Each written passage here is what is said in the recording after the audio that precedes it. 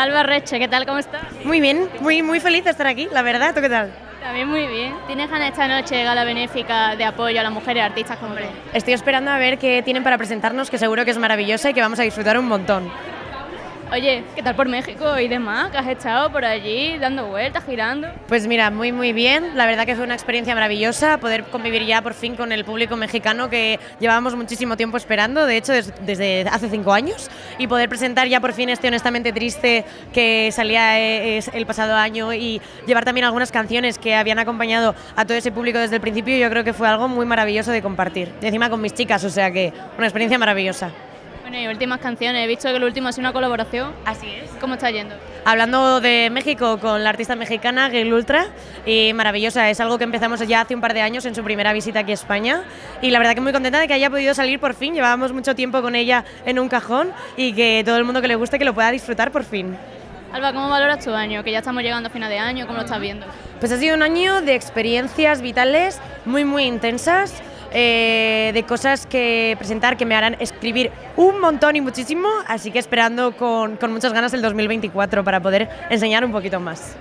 Te quiero preguntar, ¿estás viendo Operación Triunfo? Sí, lo estoy viendo, sí. ¿Por qué no lo comentas por Twitter? Ahora coméntalo por todos lados. Es que no tengo instalado Twitter, me lo tendré que instalar en algún otro momento de mi vida, pero bueno, yo veo cositas por TikTok y por, por las redes.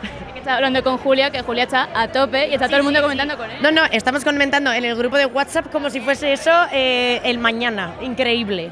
¿Tienes algún favorito o favorita? ¿Está mal que lo diga?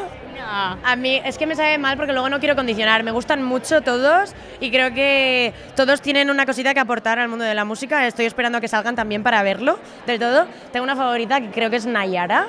Eh, luego la. ¿Eh? Coincidimos. Luego la voz de Salma me parece mm, maravillosa. Eh, la voz de Kiara también me gusta muchísimo.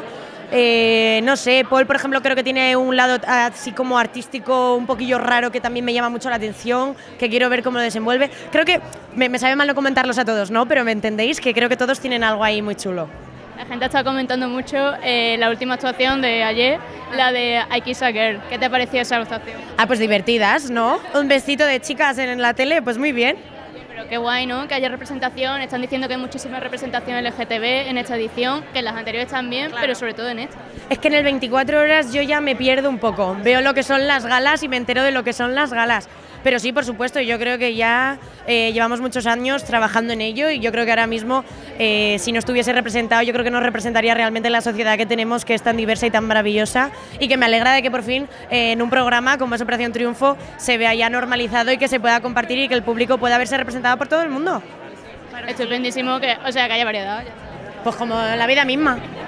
Bueno, Alba, pues que te lo pases muy bien y muchas gracias. Igualmente, corazón. Muchas gracias.